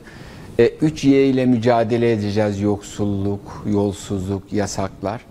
Ama bugün gelinen noktada mafyatik ilişkilerle birlikte iddialarla gündeme gelen bir iktidarla karşı karşıyayız. Siz o hareketin AK Parti'nin kuruluşunda yer aldığınızda ki tabloyla bugünkü tabloyu kıyasladığınızda ne görüyorsunuz? Bu dönüşümü, bu değişimi, bu evril, evrilmeyi nasıl açıklıyorsunuz? Siz fark ettiniz mi o ilk şeyde? E, itiraz ettiniz. Ben ilk fark et, ilk ayda fark ettim dediniz. O ilk ayı anlamak istiyorum. Nerede fark ettiniz? Ne oldu? Yani şöyle bakıyorum ben olaya. Bir kere partinin kuruluş safhasında kendi açımdan iyi niyetli olduğumu düşünüyorum. İyi şeyler olacağını düşünüyorum. Ve bu yeni hareketin iktidara geleceğini görüyorum. Daha önce sürekli olarak ilkeleri önceleyen bir e, siyasi hareket içerisinde bulunmuşuz. Refah Partisi, Fazilet Partisi bu çizgiyi öncelemiştir. İster oyun fazla olsun, ister az olsun, ister hükümette ol, ister muhalefette ol. Ama doğru olanı savun, ilkelerin doğrultusunda siyaset yap. Refah Fazilet dönemini böyle görüyorum. Ama o dönemin biliyorsunuz e, koşullarını siz o dönemde de iyi niyetle siyaset yapıyorsunuz ama sizi rahat bırakmıyorlar. İkide bir parti kapatıyorlar. Yani 28 Şubat sürecinin hükümete yönelik olarak e, ortaya çıkarılışının hiç iyi niyetle bağdaşır bir tarafı yok. Bir refah yolu hükümeti var. Bu hükümet başarılı. Ekonomi düzelmiş. düzgünce yoluna devam ediyor. Ee, yolsuzlukla ilgili en küçük bir iddia yok. Ve hükümetin önü kesiliyor. Arkasından Fazilet Partisi'nde de kapatma davası açılıyor. Ben en azından bu dönemde ilkeler doğrultusunda siyaset yapmanın önemli olduğunu ancak güce ulaşmadığınız takdirde de sizi rahat bırakmayacaklarını gördüm. O halde ilkelerle birlikte gücü de sağlamamız lazım. Bu yeni Adalet ve Kalkınma Partisi oluşumunun da tek başına iktidara geleceğini, iktidara geldiği takdirde de artık ikide bir uğraşılmaya çalışılamayacağını, çelme takılmakla meşgul olunamayacağını düşündüm. Yani ilkeler derken güce de ihtiyacımız var. Güç arayışına Güçle girmiş olmak evet. e, Adalet ve Kalkınma Partisi oluşumunun içinde bulunmama yol açtı. Gerçekten de ilk seçimde meclisin üçte iki çoğunluğuyla tek başına iktidar oldu bu parti. Öngörülerim doğruymuş diye düşündüm. Fakat bugün geldiğim nokta şu. Güç önemli bir hadise değil. Yani temel alınacak, e, ana umde olarak görülecek bir iş değil. Aman güçlünün yanında olalım. Aman kim çok oy alıyorsa onun yanında olalım. Sözünün doğru bir tarafı yok. Ya iktidar her yerde var. İktidar işe yararsa peşine gidilir. İşe yaramayan iktidarın, ilkesi olmayan veya bozuk ilke ve politikalara sahip iktidarın peşinde koşulmaz. Bu yanlıştır. Eğer güç ve toplumsal itaatin, desteğin yüksek olduğu yer makbul olsaydı en makbul insanlar geçmişte Firavunlar ve Nemrutlar olurdu. Kur'an-ı Kerim'de de pek çok ayet var. Gücün peşine takılmamayla ilgili olarak. Gücü hak olarak görmemek gerektiğiyle ilgili. O kadar çok ayet var ki. Gücün peşine takılan, burada güç var, çoğunluk var, iktidar var diye bir yerin peşine takılanlar Kur'an kültüründen uzak olanlardır. Kur'ani kültür bunu emretmiyor. Hatta gücün peşine takılmayı yanlış olarak görüyor, batıl olarak görüyor. Onun için Nemrutlar ve Firavunlar hakta değil, batıldadırlar. İyi niyetlerle başladım. Ben 2002 seçimlerinde ve 94 İlk seçim şeyde fark ettim dediniz birinci Başlar- bölümde. İlk başladığımızda fark ettim ve ilk ayrılan ben oldum dediniz. O, onu biraz anlamaya çalışıyorum. Bu ilk dönemin e, iyi gidiyor gibi görünmesinin sebebi e, şuradan kaynaklanıyor.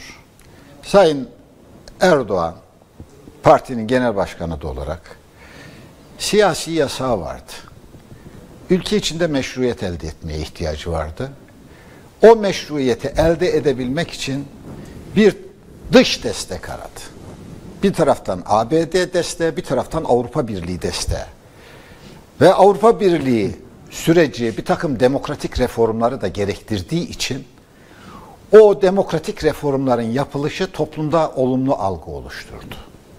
Ama iki şeyde ilk hükümet olduğu andan itibaren ilkelerden ve iyi niyetli bir iktidar arayışından bu hareketin koptuğu görüldü. Ben de gördüm bunu. Nedir bu? Bir, Büyük Orta Doğu projesi ve dış politikada tam bir yanlış hesaplanmanın ortaya çıkacağı daha başlangıcından belli oldu. İkincisi, BOP dediğiniz proje biliyorsunuz G8 toplantısında 2003'te ilan edilen e, eş başkanlık ilan edilmişti.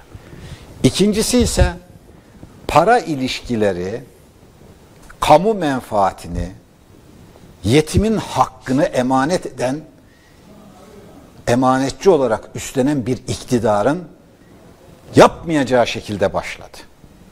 Ve iş özelleştirmelerden başladı bildiğiniz gibi. Özelleştirme idaresi bana bağlıydı ve ben daha hiçbir özelleştirme yapılmadan önce gidişin asla iyi olamayacağını, özelleştirmelerin kamu menfaatini gözetecek şekilde, yetimin hakkını gözetecek şekilde yürütülmeyeceğini gördüğüm için özelleştirmeler nedeniyle aramızda problem çıktı. İlk özelleştirme yüksek kurulu kararını imzalamadım.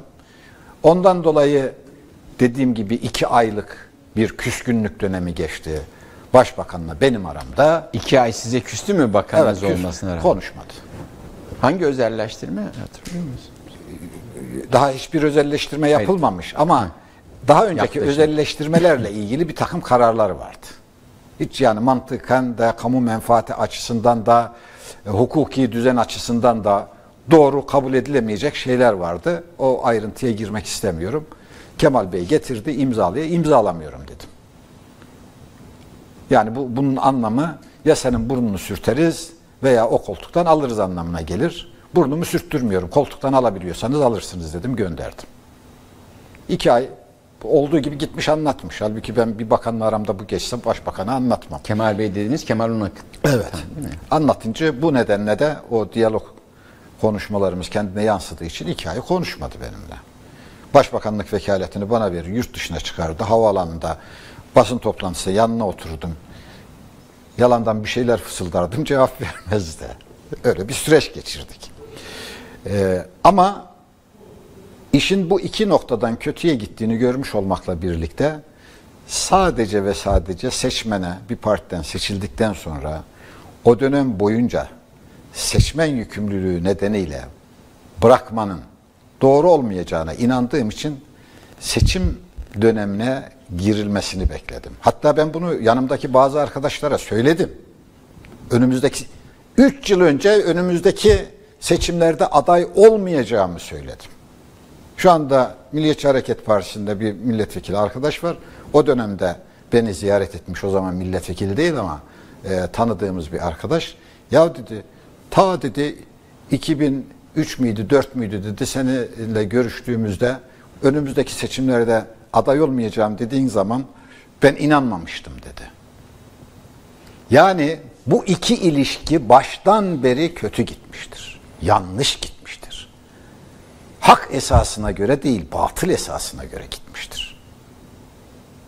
Hem hukuk düzenine aykırı, hem milli menfaatlere aykırı ve de hem de harama tevessüle yönelik bir çizgide yürümüştür. Ama o kompartmanların içerisinde olmadı. Özelleştirme idaresini o zaman basın elinden aldı diye anlatmışlardı. Ee, ben bıraktım. Hatta bu özelleştirme konusunda başbakanla yaptığımız tartışmada Sayın Genel Başkanınız da vardı. Geçenlerde ziyaretimde orada ben de vardım diye anlattı. O zaman Başbakanlık e, baş danışmanıydı dış politikayla ilgili. İlgili bakanlar aklımdaydı da onun da var olduğunu bilmiyordum. Ki bu daha ilk başbakan olduğunun ilk veya ikinci haftası meydana gelen bir şeydi o olay. Şimdi böyle başladığınız zaman gittikçe, gücü toparladıkça, yerleştikçe, denetlenemez hale geldikçe, hele hele anayasayı de- değiştirip hem şeffaflığı hem de denetlenebilirliği ortadan kaldırdıktan sonra şu anda neler yapıldığını hayal bile edemezsiniz. Korkunç şeyler oluyor devlette. Şu anda söylenenleri bile hayal edemiyoruz ki onları hayal edelim. Yani bu Sedat Peker'in yaptığı açıklamaların çok küçük olduğunu düşünüyorum ben. O kadar vahim diyoruz. Yani korkunç. Devlet açısından, devlet ricalinin bu tip şeylere bulaşmış olması açısından korkunç, dehşet verici şeyler anlatıyor. Ve bunların hiçbirine de düzgün cevap vermiyorlar. Duymamazlıktan geliyorlar. Medyayı karartmak suretiyle halkın bundan haberdar olmamasını sağlamaya çalışıyorlar. Ama gerçekte ortaya çıkan tablo bilinse bu ülke mahvolmuş dersiniz. Ya ülkede niye kriz var? İşte bilmek için konuşuyoruz. niye işsizlik patlamış? Esnaf perişan, çiftçi perişan, emekli perişan ya. Ya bunlar olmasa Asgari bu, sıkıntılar perişan. olmaz mı? O kadar mı vahim Ya diyorsunuz? Yani bunlar olmasa bütçeyle- Türkiye'de ne emekli sıkıntı çeker ne esnaf sıkıntı çeker mi? Bu kadar mı? Korkunç, korkunç kaynak sızması var. Bu ülkenin kaynakları korkunç şekilde yağmalanıyor, talan ediliyor. Vatandaşa bir şey kalmıyor. Onun için ekonomi berbat. Ya sürekli söylerim. Şu 28 o- o- pardon 18 19 yıl oldu. 19 yıllık bir iktidar. Hiçbir iktidarı uzun dönem politikaları nedeniyle sorgulayamazsınız. Neden? Bakıyorum geçmişe tek başına ve sürekli olarak hangi parti ne kadar iktidar dönemi geçirmiş diye. İşte bakıyorsunuz Demokrat Parti 10 yıl, Adalet Partisi 5-6 yıl, Anavatan Partisi 8 yıl, Adalet ve Kalkınma Partisi 19 yıldır sürekli ve tek başına iktidar. Ben bu partiyi, bu iktidarı uzun dönem politikalarından dolayı da sorgularım. Bu kadar işsizlik niye var diye. Bu kadar yoksulluk niye var diye. Bakın şu telefon markasını söylemeyin, reklama girmeyelim. Şu telefonun piyasa değeri kaç lira biliyor musunuz? Şu telefonun pi- piyasa değeri 2 trilyon 200 milyar dolar. Peki 19 yıl sonra bu hükümetin Türkiye'yi getirdiği durum ne? Türkiye'nin 2020 milli geliri ne kadar? Milli gelir ne demek? Bu ülkedeki bütün çiftçilerin, bütün esnafın, Sanayici. bütün sanayicilerin, tüm hizmetler sektörünün, daha doğrusu bu ülkede yaşayan 84 milyon insanın yaptığı üretimin değeri demektir. Ne kadar biliyor musunuz? Bu milli gelir, Türkiye'nin milli geliri 19 yıllık Adalet ve Kalkınma Partisi ve Erdoğan hükümetleri sonrasında 717 milyar dolar. Kendilerinin verdiği rakam bu. Üstelik şişirilmiş rakam. Peki bu telefonun değeri bu ülkenin milli gelirinden ne kadar fazla? Be- 3 kattan fazla. 3 üç, buçuk kat şu telefonun marka değeri, piyasa değeri bu partinin 19 yıl sonra Türkiye'yi getirdiği Getirdiği noktanın noktadan. 3 katı. Daha şey. 3 katından fazla. Tamam yani e, çok net bir kıyas oldu. Ee, Bu kadar çok kaynak israfı olursa, bu kadar çok yağma olursa ülkenin geldiği nokta bu olur Geldiği zaten. nokta, evet. Döneceğim Sayın Bakanım. Size Ziraat Bankası kredilerini ve 10 bin dolardan daha fazlasını verdim demişti. Onu da sormak istiyorum ama e, Sayın Karaduman e, birinci bölümde kısmen değindik ama bugün de mecliste bütün bu iddiaların hakikaten hepimizi şoke eden bu tuhaf ilişkilerin araştırılması için verilen önerge yine reddedildi. Oysa şu kıyas son dönemde çok fazla gündeme geliyor. Sayın Bakanım siz de hatırlarsınız o dönem, dönem meclisteydin.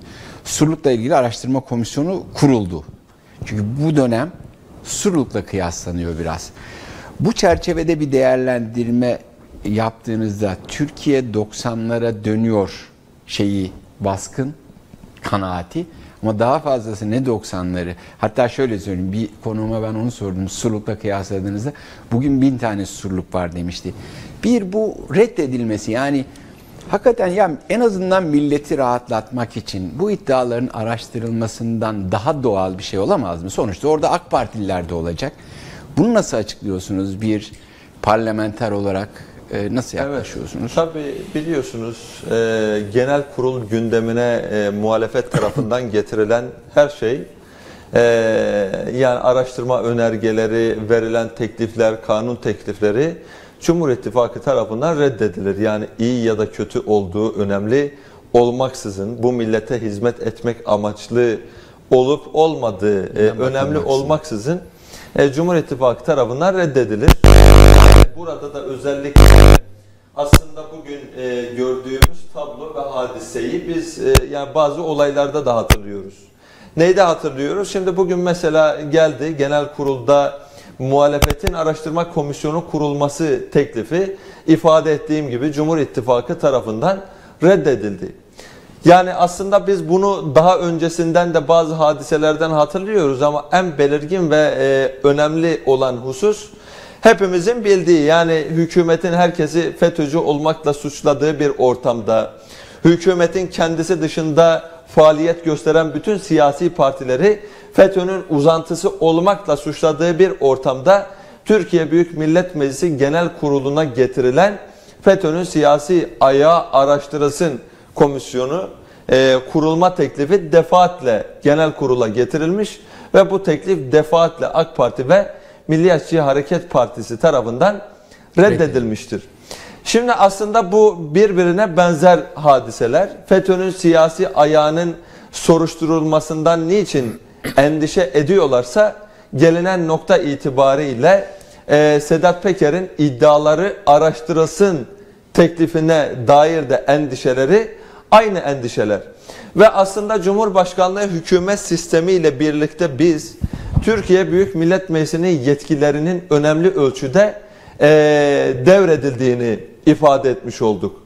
Yani gelinen noktada ki bu da bence çok e, yani trajedi e, barındıran bir hadisedir. Meclis Başkanı feryat ediyor. Türkiye Büyük Millet Meclisi Başkanı Sayın Mustafa Şentop feryat ediyor.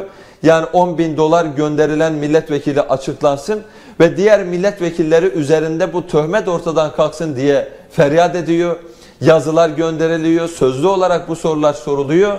Ama İçişleri Bakanı tarafından bu açıklanmıyorsa emin olun bu Türkiye Büyük Millet Meclisi'nin itibarının ayaklar altına alınmasıdır. Yani Türkiye Büyük Millet Meclisi Başkanı'nın ki kendi milletvekili olan bir kişidir. Sayın Mustafa Şentop'un bile itibarının ayaklar altına alınmasını ortaya koyan bir şeydir. Yani feryat ediyor bu açıklansın ve bu töhmet ortadan kalksın diye ama İçişleri Bakanı'nın özellikle anayasada mutlaka bu anlamda eğer suçu tespit edilen kişiler varsa bunun mutlaka açıklanması gerekir hükmü İçişleri Bakanı tarafından açıkça ihlal edilmiştir. Özellikle bu milletvekilinin isminin söylenmemesiyle birlikte.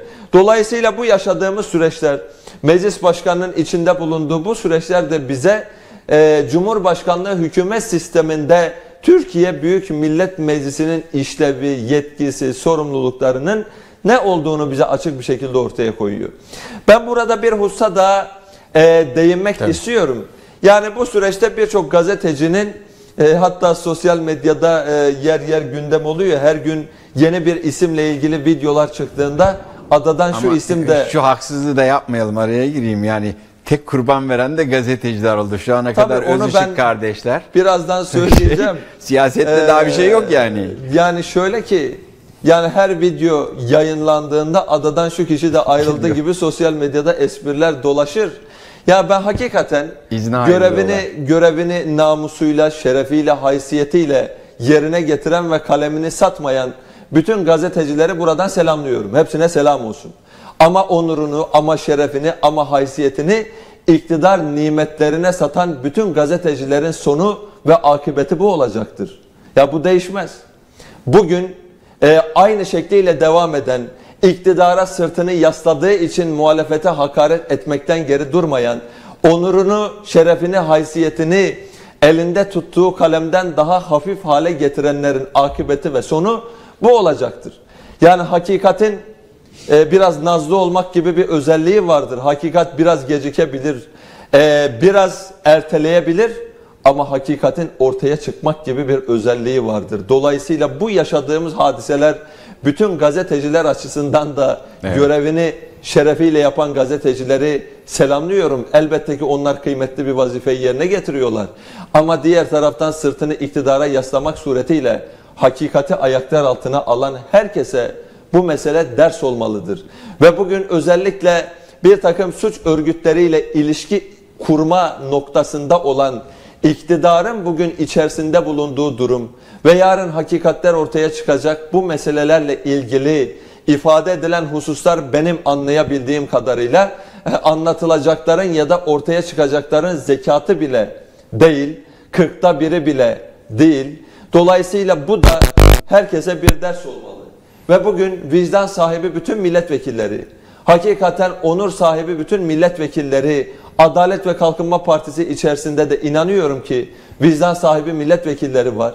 AK Parti içerisinde de yapılan bu yanlışların, e, gelinen bu süreçteki bütün bu yanlışlıkları tasvip etmeyen, onaylamayan milletvekillerinin olduğunu da canı gönülden biliyorum. Ne olur onlar da ortaya çıksınlar. Bugün partime zarar gelmesin. Bugün benim rantıma işte iktidar imkanıma zarar gelmesin diye sustukları her saniye bu ülke daha çok kaybedecek. Bu ülke daha fazla kan kaybedecek ve kimsenin bu ülkeye kaybettirmeye emin olun hakkı yok. Bu ülkeyi iktidarımızı koruyacağız. Kendi partimizi koruyacağız. Milletvekilliği makamlarımızı koruyacağız diye ortaya koyulan bu gayret bu ülkeye yazık etmekten başka hiçbir şey olmayacaktır. Dolayısıyla asıl olan ülkenin bu gidişatını ortadan kaldırmaktır. Biraz önce ekonomik hususlarla ilgili ifade edildi. Geçtiğimiz günlerde ben Trabzon'a gittim. Birçok ilde e, Saadet Partimizin başlattığı geçim ittifakı, ittifakı vesilesiyle de ziyarette bulunduk. Yarın Konya'da, diğer gün Balıkesir'de bir takım çalışmalarımız olacak. Hakikaten insanlarımız e, bugün çok ciddi zorluklarla yaşamını idame ettirmeye çalışıyor. İşte geçtiğimiz e, hatta geçtiğimiz yılın bakın 2021'de geçtiğimiz yılın ilk çeyreğine göre yüzde 11 artışla 125 bin esnafımız son bir yılda iflas etmiş vaziyette. Kepenk indirmiş vaziyette. Bunların hesabını hepimiz vereceğiz. Bugün siyaset yaptığını iddia eden herkes bunların hesabını verecek. Diğer taraftan bugün Ziraat Bankası ile siz 750 milyon doları medyayı özellikle kontrol altına almak için kredilerle vereceksiniz ve bunun akıbetinin ne olduğuna dair çıkıp açıklama bile yapmayacaksınız. Bunun ödemesinin alınıp alınmadığına dair ki alınmadığı ortada, holdingin ödeme yapmadığı ortada. Ee, bunun 750 milyon doların hesabını vermeyeceksiniz. Diğer taraftan Ziraat Bankası kredi verdi diye çiftçilere gidecek. Mahsulünü kaldıramadığı için, kazanamadığı için, zarar ettiği için kredi borcunu ödeyemeyen çiftçilerin traktörüne haciz koyarken utanmayacaksa bunun hesabını siyasetçiler vermek zorunda. Ve hepimiz bunun hesabını vereceğiz. Sesini çıkaramayan herkes bunun hesabını verecek. Üniversite bitirdi diye iş bulamadığı için KYK borcunu ödeyemeyen, KYK borcunu ödeyemediği için 300 bin kişinin e, İcralık kapısına icra dosyası gönderen Ziraat Bankası diğer taraftan holdinglerin vergilerini siliyorsa, holdinglere özellikle krediler vermek suretiyle medyayı kontrol altına almak istiyorsa, dolayısıyla bunu sağlayan iktidarın mensupları da, milletvekilleri de, Türkiye Büyük Millet Meclisi'nde bulunan herkes de Bunun emin olun bunun sorumlusu ve bunun hesabını verecek. Dolayısıyla bu hesaptan kaçabilmemiz mümkün değil. Bugün bir takım şeyler ortaya çıktı ama bu dünyada bunlar ortaya çıkacak. Çıkmayanları da Allah'ın huzurunda hepimiz hesabını vereceğiz. Dolayısıyla vicdan sahibi Türkiye Büyük Millet Meclisi'ndeki herkes bu yanlışa karşı çıkmalı ve AK Parti'nin de daha büyük bir felakete sürüklenmemesini eğer istiyorsa AK Parti'nin milletvekilleri dolayısıyla yine çıkıp bu yanlışlara dur diyecek, bağırsak temizliğini yapacak ve nihayetinde bu yanlışları daha fazla e, çığ gibi büyümesine herkes engel olacak. Yani Aksi burada halde diyorsunuz ki Marmara'daki müsilajdan daha önemli siyasi bir müsilaj mücadelesine ihtiyaç var. Ee, önemli bir şey o kaldığı yerden e, devam edeyim Ayhan Bey. Yine oraya takıldım. Dört dönem milletvekilliği, AK Parti'den milletvekilliği yapmış biri olarak. Sonuçta e, orada hala görüştüğünüz arkadaşlarınız vardır, tanıdığınız insanlar. E, bu rahatsızlık orada var mı sizce? Böyle bir şey hissediyor musunuz? Çünkü bu Sedat Peker'in videolarıyla gündeme gelen süreci AK Parti içerisindeki bir mücadeleye, bir siyasi kavgaya bağlayan da çok. O konuda bir kanaatiniz var mı? Sonraki bölümde e, 10 bin dolar ve Ziraat Bankası'nı daha somutlaştırarak sormak istiyorum. Evet. Ne diyorsunuz bu Aslında konuda? e, Sayın Bahçeli konuşula, konuşana kadar AK Parti içerisinde e, ciddi bir beklenti vardı. Bir rahatsızlık artık had safhaya çıkmıştı. Özellikle Sayın Süleyman Soylu'nun artık o koltukta kalmaması gerektiğini ve e, ülkenin için, AK Parti için mutlaka istifa etmesi gerektiğini dillendiren çok sayıda arkadaşın olduğunu ben bizzat biliyorum. Bunların içerisinde partide yö- yönetici olanlar var, grupta grup başkan vekili olanlar var. Ancak Mevcut durumda mevcut durumdan bahsediyorum. Ee, AK Parti e, evet birçok e, önceki yıllarda vesayet odaklarını hep birlikte kırdık. Millet de buna yardımcı oldu. Ama sonra geldi başka vesayetçilerin vesayet altına girdi. E, bunlardan bir tanesi de e, Sayın Bahçeli'nin vesayetinin altına girmiştir. Sayın Bahçeli'nin e, ancak dedikleri olabilir, istemedikleri de olmaz AK Parti'de. Nitekim e, Sayın Süleyman Soylu normal şartlarda o program çarşamba günü olması gerekirken ısrarla bunu e, pazartesi aldırdı. Adeta pazartesi almasını yalvardı. Programcılarla da yani bu bilgimiz var. Neden? E, çünkü e, grup toplantılarından önce bir takım mesajlar vermesi lazımdı. Hem kendisini destekleyen ve e, Bahçeli'nin politikalarını uyguladığı için Bahçeli'ye mesaj vermesi lazım. Bak ben yıllardan beri AK Parti'nin değil, ba- e, sizin güvenlikçi politikalarınızı uyguluyorum. Beni bir kez daha kurtarın, önceki de kurtardığınız gibi dedi. Onun dışında da AK Parti'nin e, mesajlar verdi. Meclise mesajlar verdi. Elimde siyasetçi, milletvekili e, karışımı yaparak onların bazı belgeleri var dedi. Efendim eski bakanlara bakın oğullarınız böyle böyle yapmıştı dedi. Onlara mesajlar verdi. 10 bin doları E, 10 bin şeyde doları, TRT'de 10 bin söyledi doları e, söyledi vesaire. Yani herkese mesaj verdi. Yani e, beni e, alırsınız görevden ben de Sedat Peker gibi çıkar hepinizi yakarım dedim. Bu mesajı ne verdi ne zaman? Gruplardan bir gün önce. Zaten hemen mesaj alındı. Sayın Bahçeli çıktı ve Sayın Perincek çıktı.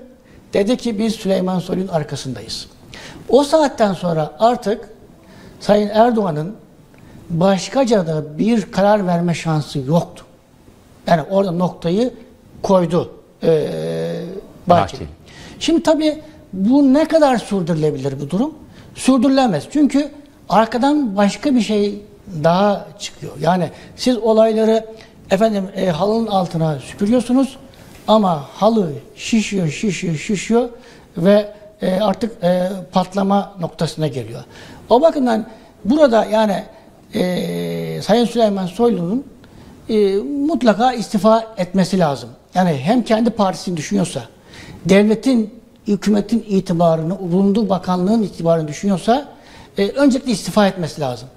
Ardından Sayın Vekilimiz dedi bugün yine araştırma komisyonu kurulması teklifini reddedilmiş. Bakın devlette belge kaybolmaz. imza kaybolmaz. 2003'te AK Parti grubunda yolsuzlukları araştırma komisyonu kurduk.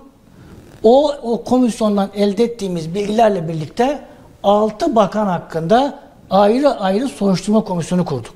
Bir tanesi de Halkbank'ta verilen kredilerle ilgili, yolsuz kredilerle ilgili ve komisyon başkanı da bendim.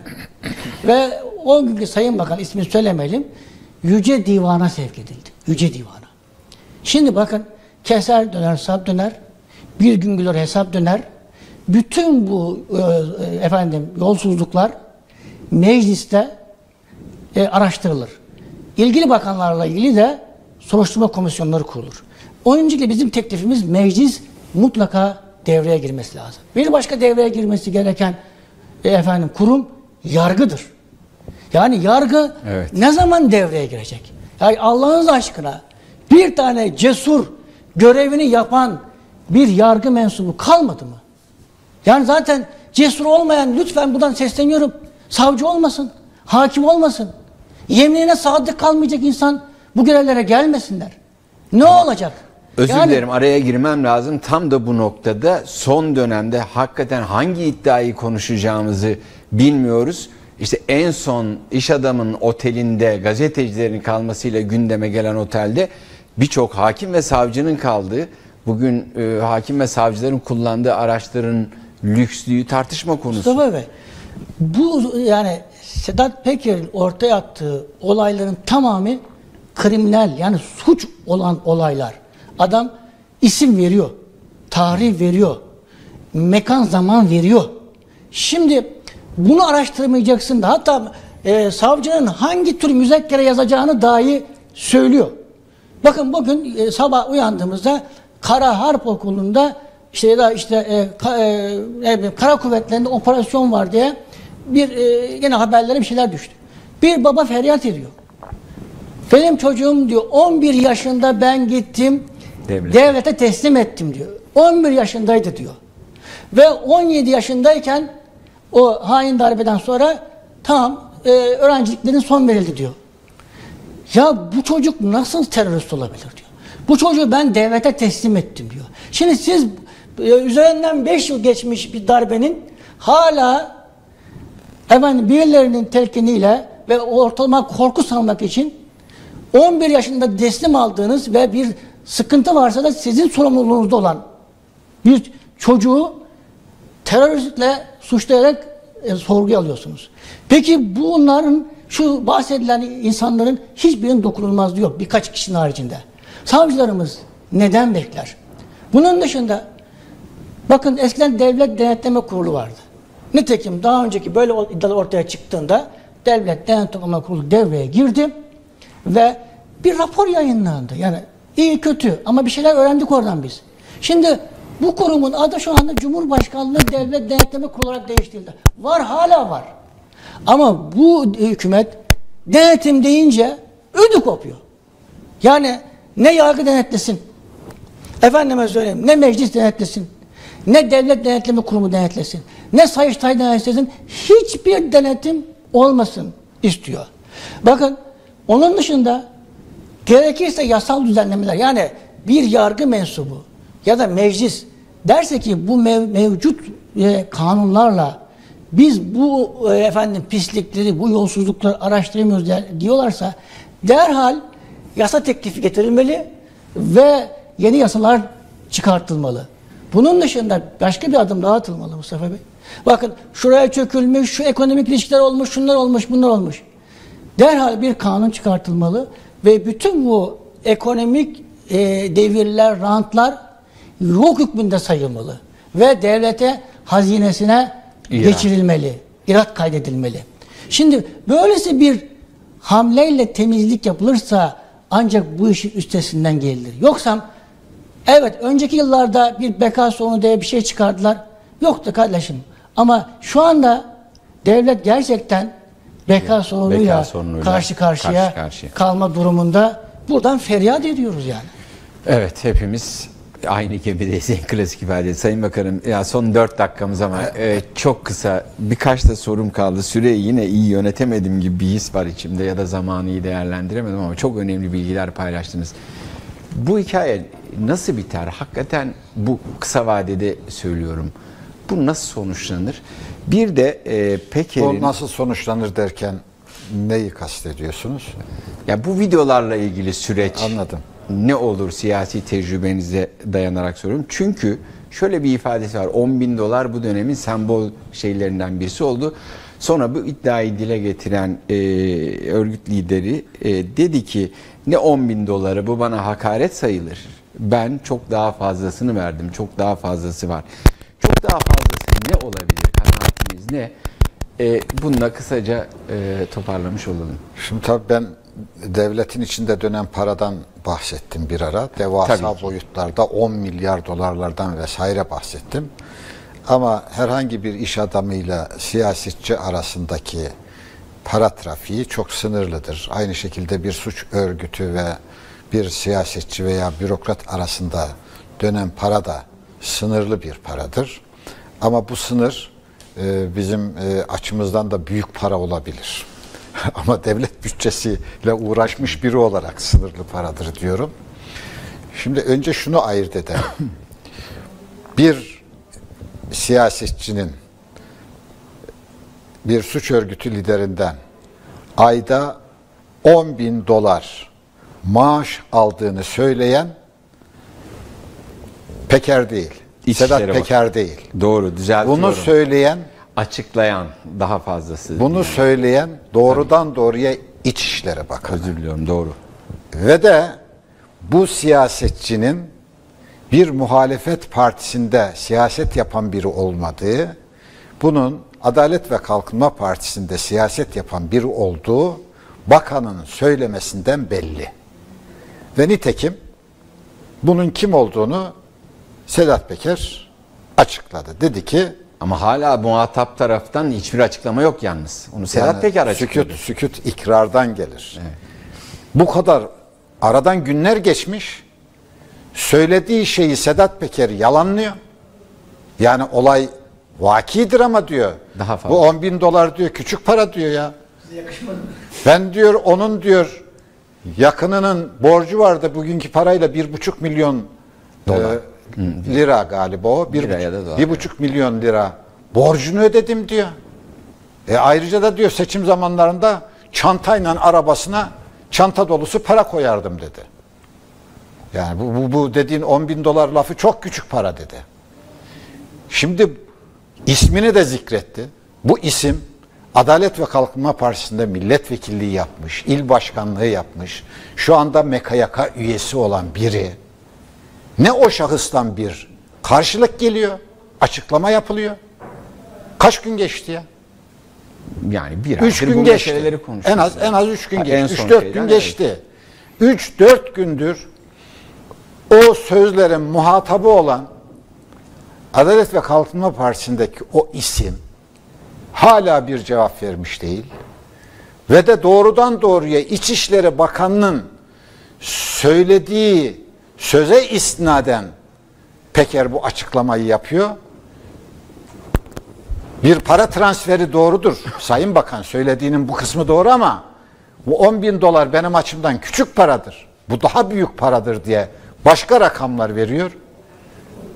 Buna karşı da İçişleri Bakanı da ağzı bantla, bantla kapatılmış. Hiçbir şey Tık yani- demiyor ya, tık demiyor. Devlet bu halde mi olur?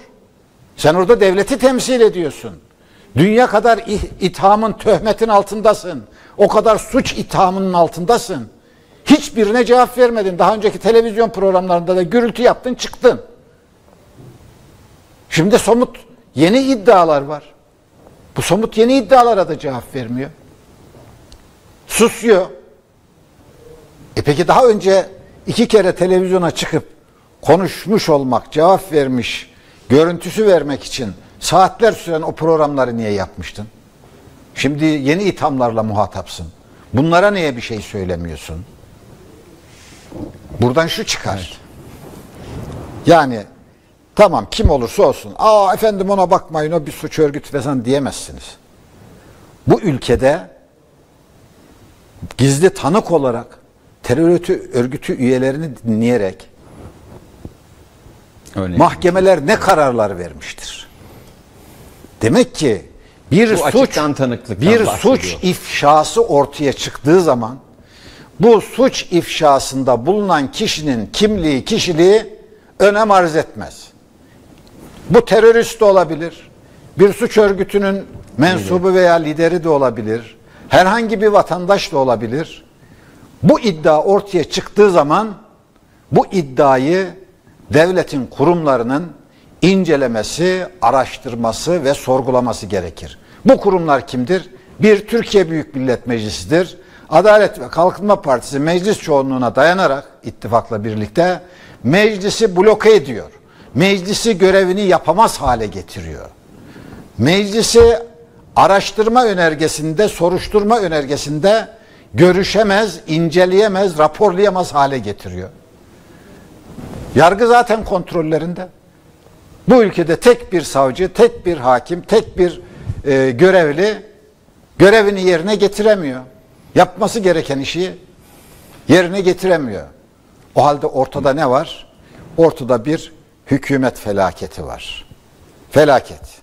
Tamamen hükümet etme biçimi devletin Ama kuralları ve kurumlarının değil, dışına taşmış e, vaziyette. Ülkeye de kendisine de zarar vermiş oluyor. Ya çok teşekkür ediyorum. 2-3 defadır uyarıyorlar. Birkaç cümle varsa çok kısa. Ama daha sonraki programlarda yine konuşmaya devam Ee, edelim. Sayın Albayrak istifa mektubunun son kısmında bir şey söylüyordu. Allah sonumuzu hayretsin diye. Ee, ben de bu vesileyle burada e, onu ifade etmiş olayım. Allah sonumuzu hayretsin. Hayretsin. Ayhan Bey. Bakın son bir şey söyleyeyim Tabii. Sayın Bakanımız dedi yani 10 bin dolar meselesinden dolayı. Şimdi o ismi geçen arkadaşla Sayın Genel Başkanımız da gerginlik yaşadı Ahmet Davutoğlu. Sebebi şuydu. E, ondan öncesinde e, ki genel başkan e, Avrupa e, UTD'den sorumlu işte bir temsilci olarak onu atamış. Ama oradan çok şikayetler vesaire e, gelmeye başlayınca bir de yabancı dili yok vesaire. E, onu görevden aldım. Tabii büyük bir yani e, şey çıktı, tepki oldu vesaire. Niye görev alıyorsun? Gerekçeler söylendi ve bunun onun yerine de Avrupa'da e, eğitim almış, Avrupa'da yaşayan şu, e, Mustafa Yeneroğlu, Sayın Mustafa Yeneroğlu atandı hakikaten. Ama bir taraftan e, resmi görevli Mustafa Yeneroğlu görevine devam ederken öbür taraftan hadi aslanım denip sırtı sıvazlandı ve böyle çift başlı bir durum oldu. Ne zaman ki Sayın Ahmet Davutoğlu genel başkanlığı bıraktı, ertesi günü o arkadaş Avrupa'dan sorumlu temsilci olarak yine atandı.